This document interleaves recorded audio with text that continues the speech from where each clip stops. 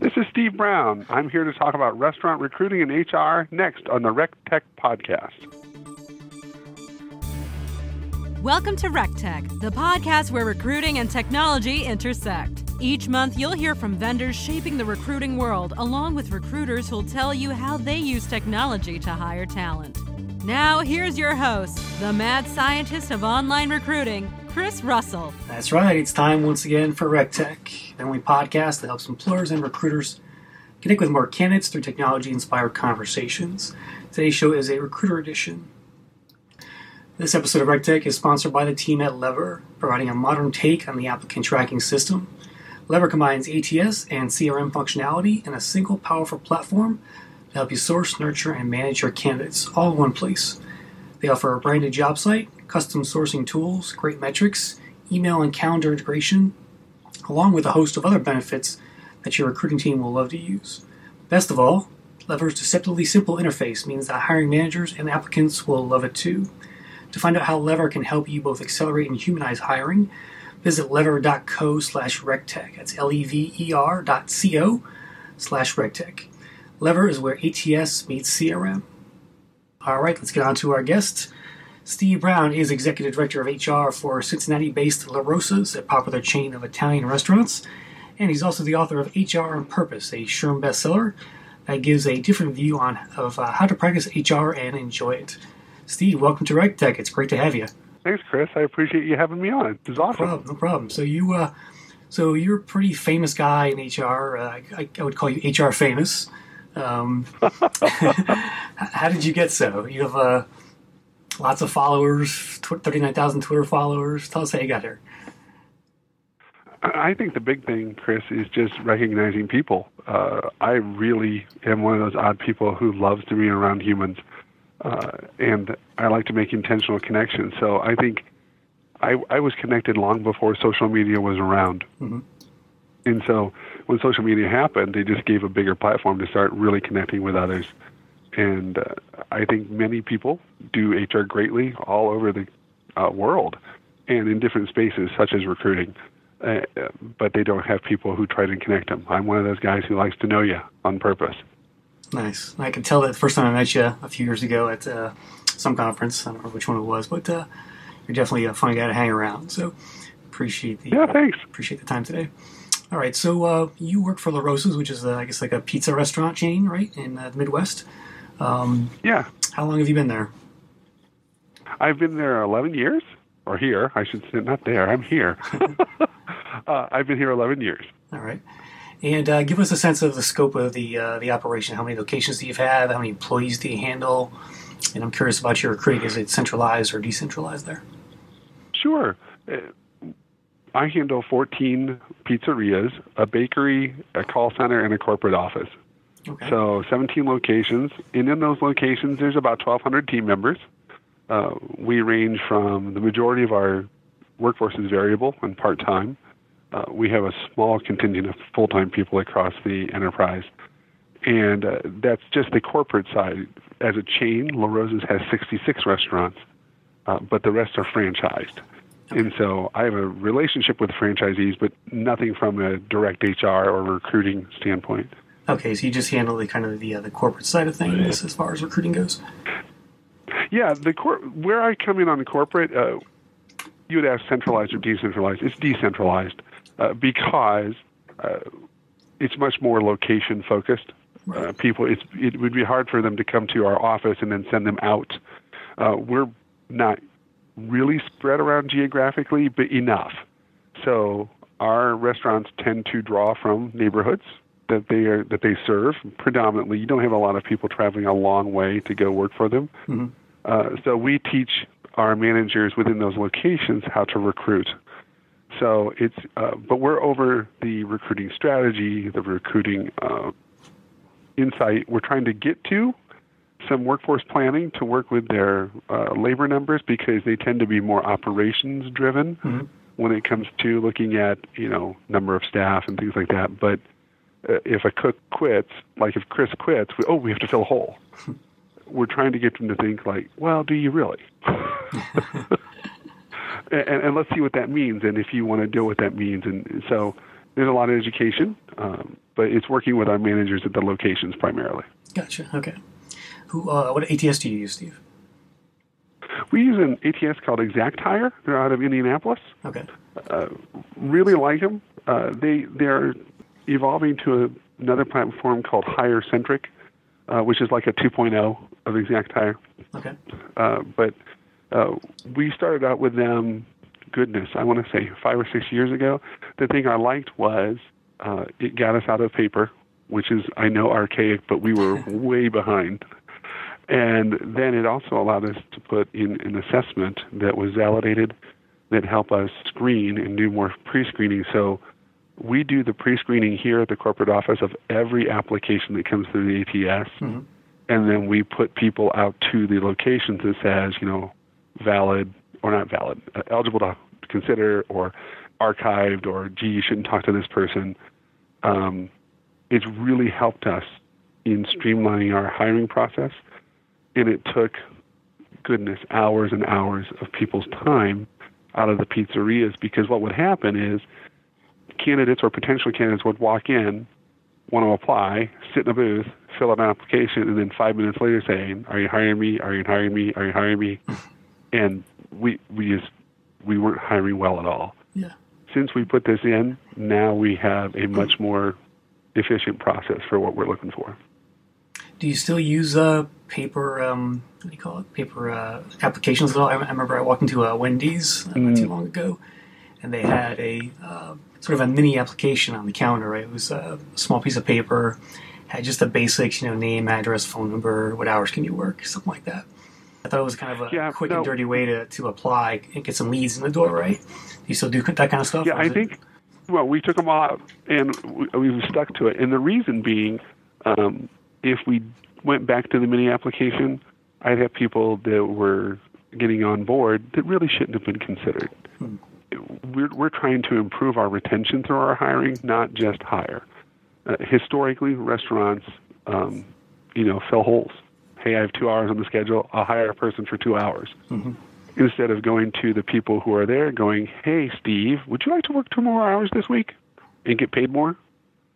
So we're trying to expand their horizon as to how to run their, op- their operation, not just hire.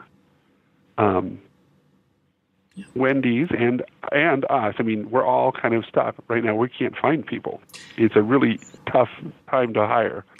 So I think Wendy's and some of the other uh, chains are doing anything to try and reach candidates and shut down that time frame of consideration, uh, which I appreciate, but we just haven't done that yet. Yeah. Talk about that that challenge, Steve, if you would. Um, I mean, what's the what's the environment like right now to hire for you know the retail level here? I mean, I know it's challenging. And it seems only getting worse, right? It is. I think there's some real pressures, Chris, and some uh, mythical pressures. Uh, the wage pressure thing is has been uh, something in our industry forever.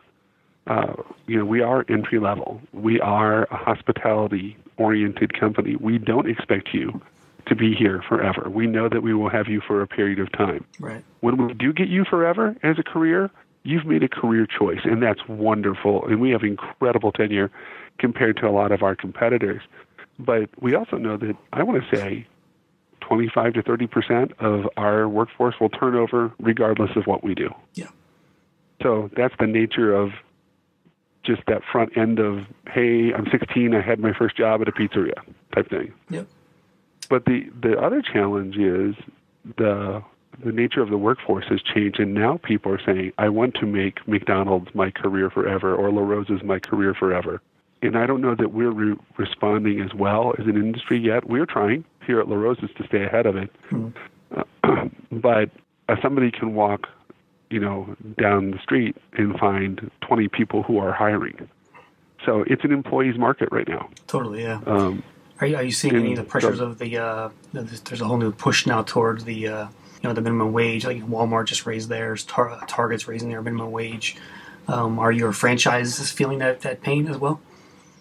Yes, we are, and I think what the way we're trying to look at it is um, geographically, because there are some areas that are heavy, heavy retail. We have a store in the Dayton area, and you know there's no residential; it's constant retail. So everybody's fighting for the same people. So that forces the wages up.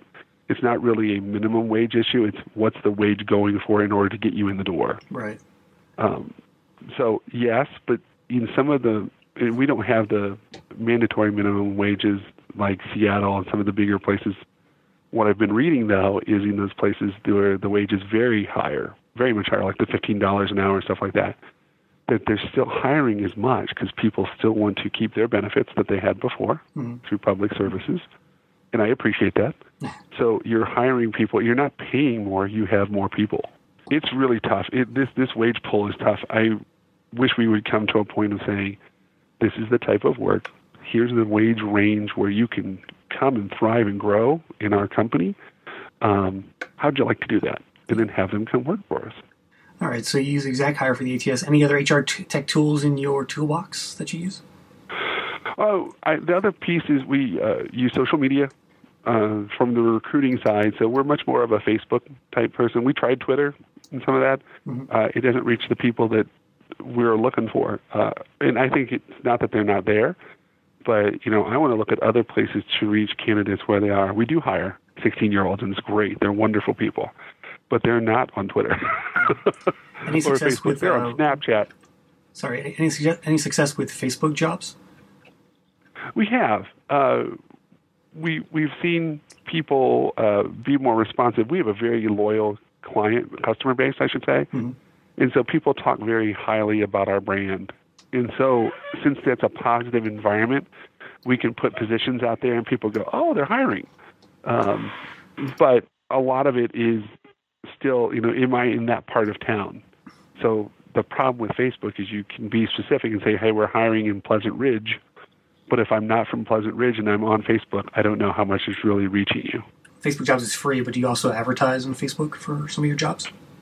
We haven't yet. We've been basically basically using it through our homepage. Mm-hmm. What other uh, types of uh, tools or sites or methods do you use to uh, uh identify and source your candidates these days? We're trying to figure that out. Uh, it's a unique situation for us because we've been so successful for so many years by word of mouth. Mm-hmm. You know, uh, I have generations of Russells that work here, or Browns that work here, or Smiths that work here. Seriously, we've had four or five generations of families stay with us. Wow. And and they'll talk to their friends and go, "Hey, I've been here for four generations," and so they start bringing in their peers. Uh, even in a tight job market, that has worked for us, especially in the Cincinnati area. Outside of Cincinnati, where we're not as um, entrenched mm-hmm. as a tradition, uh, we're competing with everybody else who's in the hospitality industry. So it's it's having two different environments to try and recruit for or source for. Um, so we're trying to shift from that heavy networking word of mouth piece to say, okay, uh, where can we go with mobile? How can we get in front of people and put it in their hands?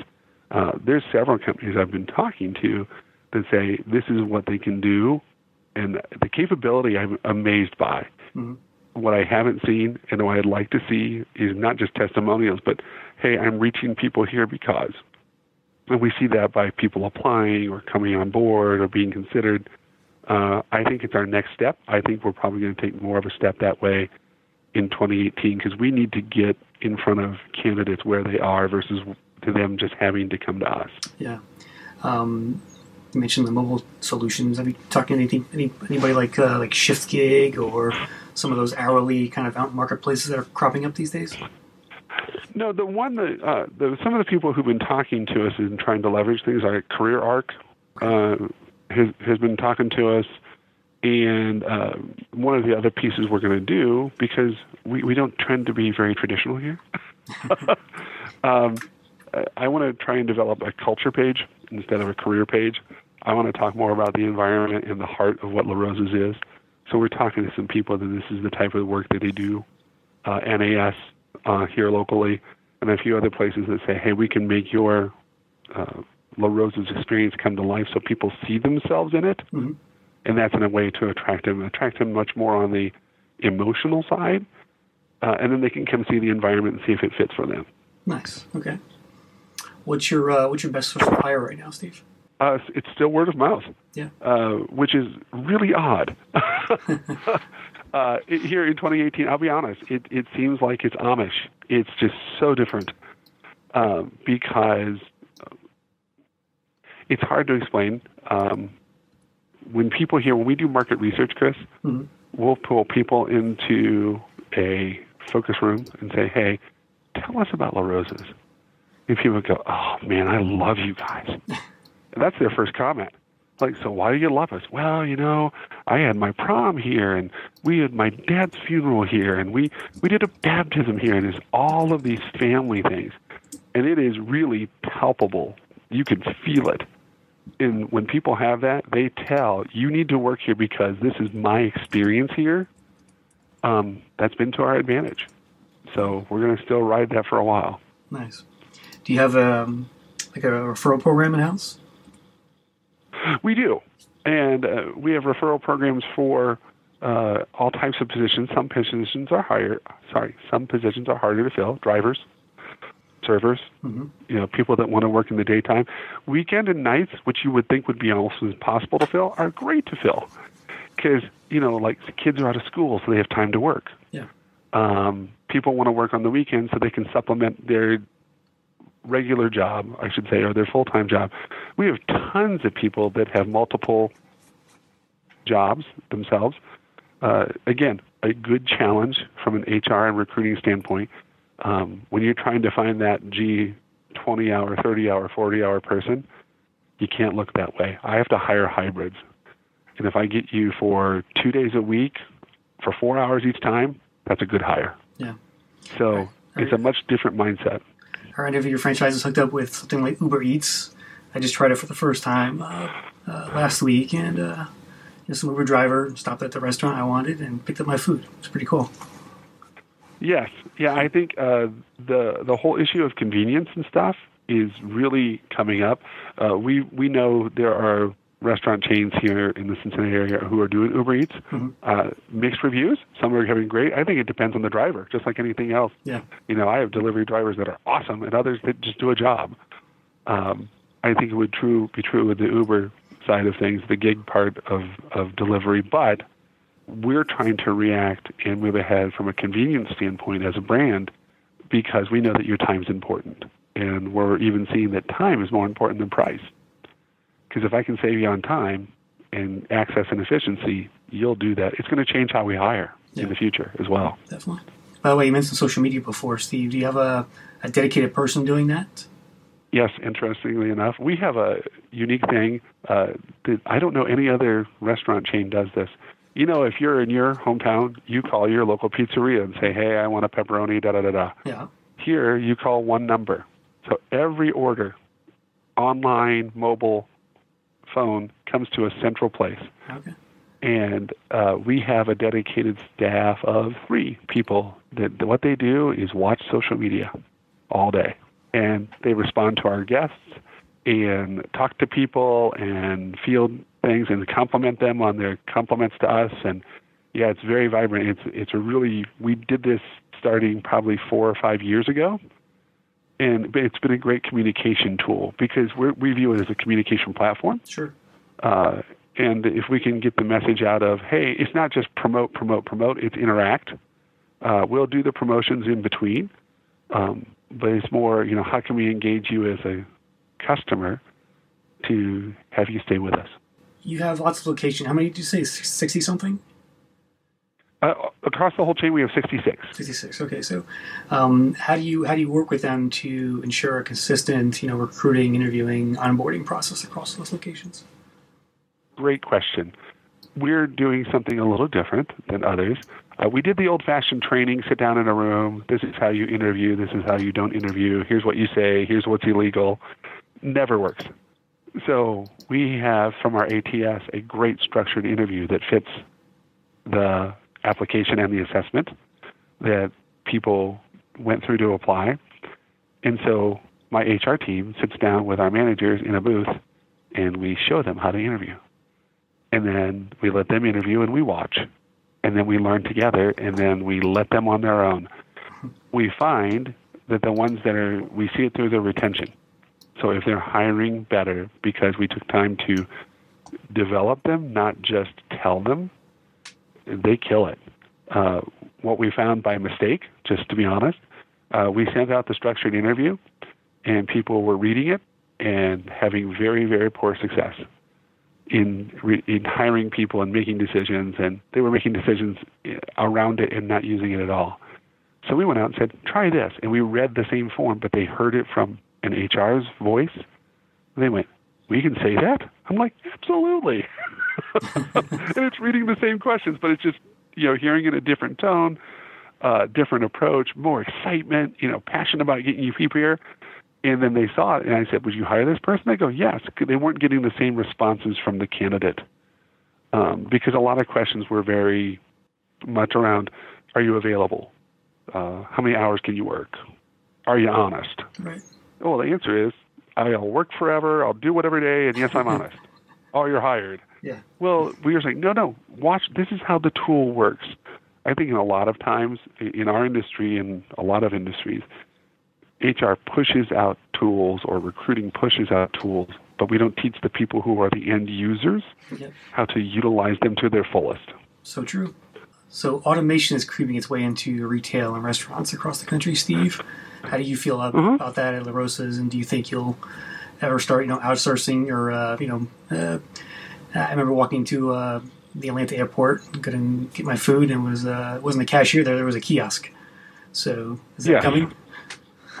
Yes, I think it is. Uh, to to what extent and when and how fast, I don't know.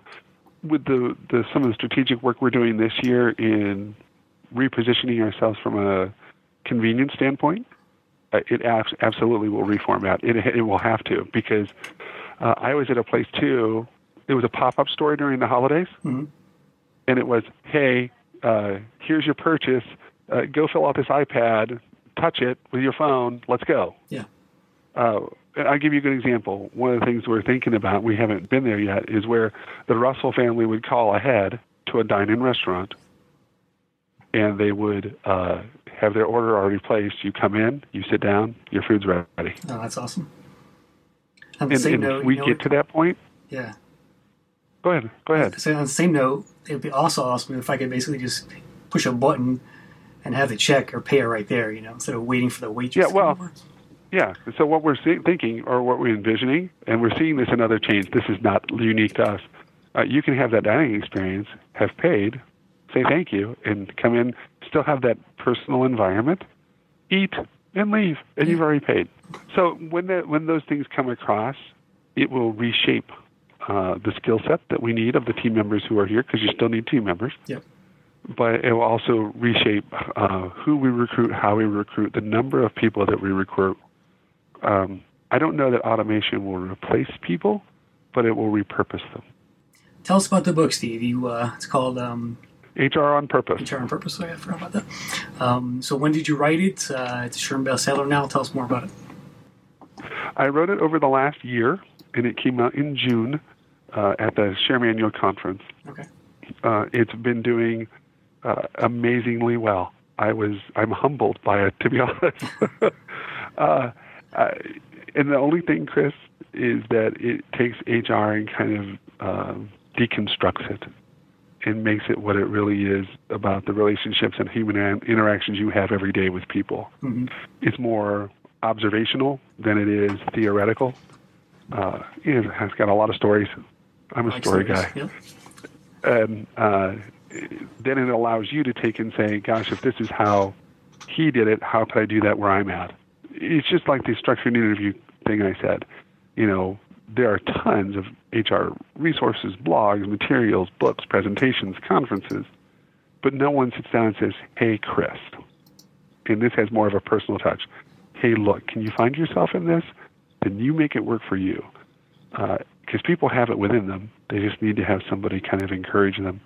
And, and I think the other thing that makes it different than a lot of information out there is that it's positive. I'm that guy. I'm not a negative person. You know, I love HR. I'm like crazy, stupid, passionate about it, and I think it comes across. Got a few more questions for you, Steve. But what's uh, what's what's your favorite story from the book? Tell us one.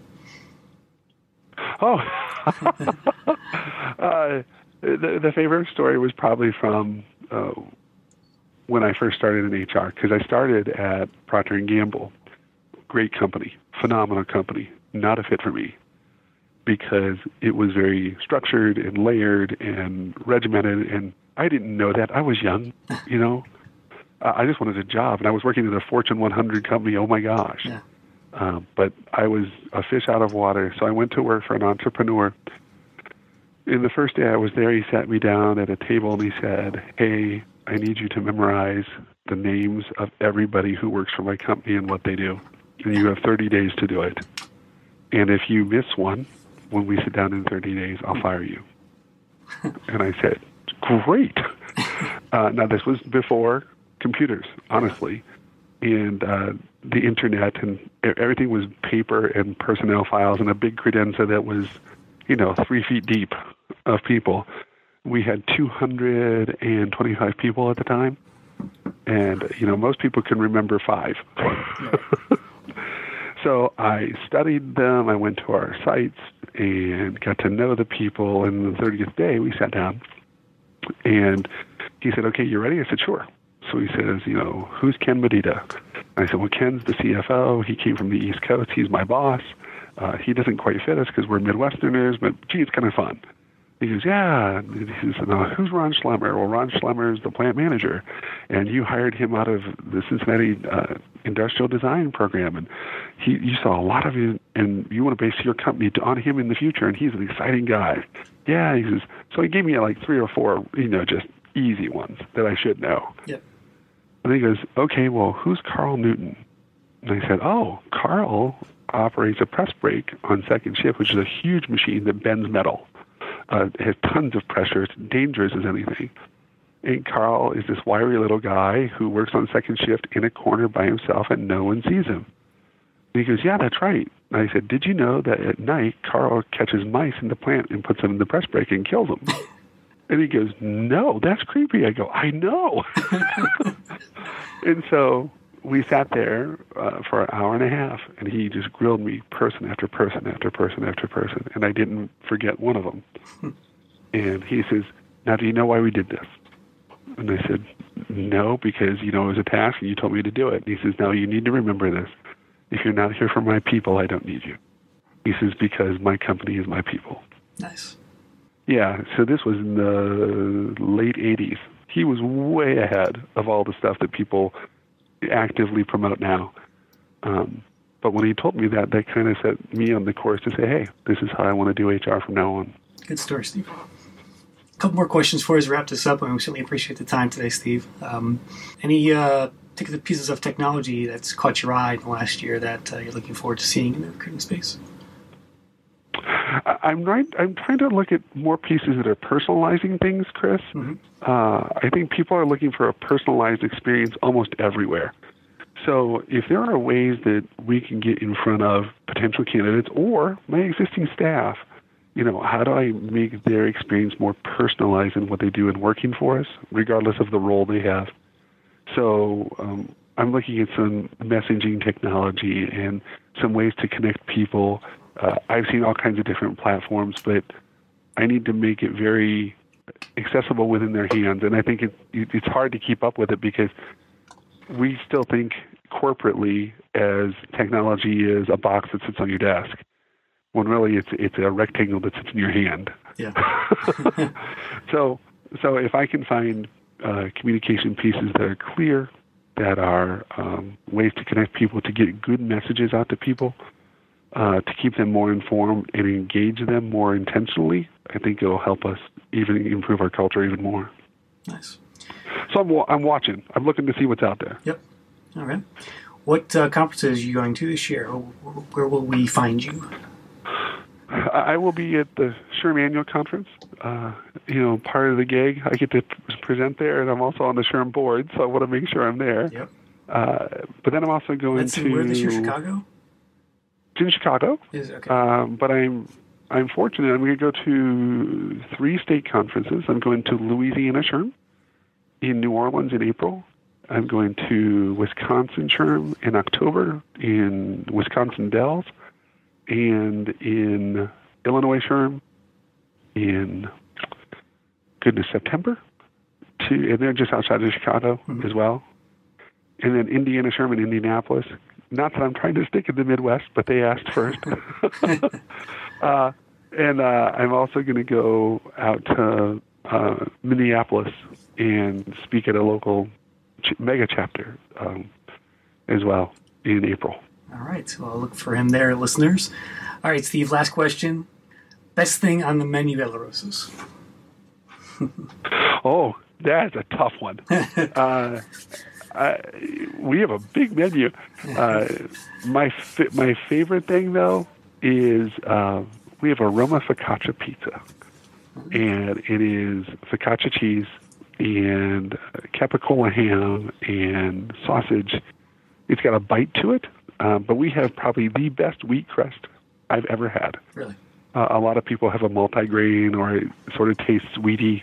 Ours is amazing, uh, and it just makes it that much better. You know, a little less flour. It's nice. I love I love our wheat crust. Nice. Well, I'll have to check it out. I've only been to Cincinnati once, and when I was there, I remember having uh, Skyline Chili. It was my favorite. Oh, perfect. Yeah. I'll have to stop by LaRosa's at some point. All right. Well, Steve Browne, uh, thank you very much for joining me. The book is called HR on Purpose. Where can people connect with you and tell them where to get the book? Uh, you can find the book on Amazon. Uh, just put in the search bar HR on Purpose. Uh, it has two exclamation points after it because that's who I am. uh, but the uh, uh, the probably the two best places to find me, Chris, would be on LinkedIn, and I love connecting with people. So if you like to connect, I would love to connect with people who are in our space, and also Twitter. I'm at at s brown hr, and Brown has an e after Brown. All right. We'll link to you in the show notes. Steve, thanks very much. Thanks, Chris. That will do for this edition of the RecTech podcast. Thanks again to our sponsor. Remember to check out lever.co slash RecTech for your ATS needs. You can subscribe to the show on iTunes, Google Play, SoundCloud, and Stitcher Radio. Hey, if you like the show, please leave a review on your channel of choice. I'd love to see your feedback or mention us on social media with the hashtag RecTech. On the next show, we'll be speaking with the executive, with executive recruiter and author Jeff Hyman. Follow me on Twitter at Chris Russell or visit rectechmedia.com. You can find the audio links for this show on our blog. Just a reminder, I'm a consultant helps both HR tech firms and employers get more clients or candidates. Thanks for listening, everyone.